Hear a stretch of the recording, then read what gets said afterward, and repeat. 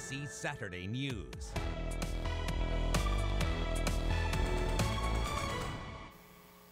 Good evening, everyone. I'm Marivel Taruc. Canada's largest Muslim convention is underway in Mississauga. More than 20,000 people are gathering this weekend to talk about their faith and to meet others in the Ahmadiyya Muslim community.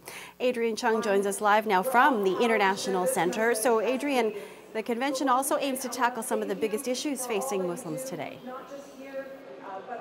Well, that's right, Marivel. Certainly, one of the big challenges they're facing is the misconceptions about the uh, Islam faith, and what they say is really uh, a misunderstanding completely of what a vast majority of Muslims believe. And one way to fight against that is inviting people uh, into these doors. They've invited people from all sorts of different faiths, around this uh, this hall alone, there are well over a thousand people. And now this is the 41st year of this convention, and it certainly has uh, garnered a lot of attention over the years. There are uh, multiple provincial and federal ministers in attendance today, as well. Prime Minister Justin Trudeau and Stephen Harper have both given addresses here, uh, largely about the uh, contributions of Muslim Canadians uh, in our country today. Here's how some people are uh, enjoying this convention this weekend.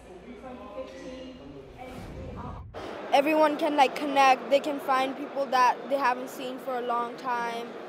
And it's just so fun to be here. I wasn't born in Canada, but Canada is my home just because uh, uh, it welcomes our peaceful message. Now, Adrian, one of the big themes developing at this convention is the fight against radicalization. Yeah, that's right. I mean, certainly that is a big question that many Muslim communities in Canada and across uh, Europe that they're asking themselves of how to keep those extremist views, which again have very little to do with uh, the religion, at bay and away, particularly from young people and from mosques. And they're holding uh, a number of different uh, speeches today, as well as workshops and uh, uh, events here as well.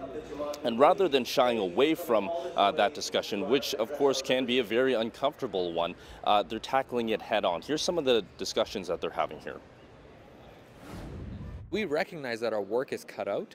We recognize that extremist groups are, have tried to hijack the religion, which is why we understand it has never been more important for us to put on these types of events and to show the world that that is a mis nomis of Islam. If you come into the women's hall of this convention, you will see that the largest attendees here are actually women.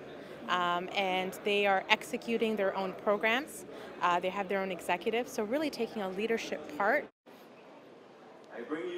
Now, after 41 years, this convention has gotten so large that next year they're going to have to move into a different space. They're planning on a new location just north of Toronto that could uh, fit as many as 50,000 people. Again, this convention uh, draws Muslim Canadians from all across the country as well as around the world uh, as the Muslim population continues to grow in Canada. Marivel? Clearly a growing interest in that. Thanks so much for this, Adrian.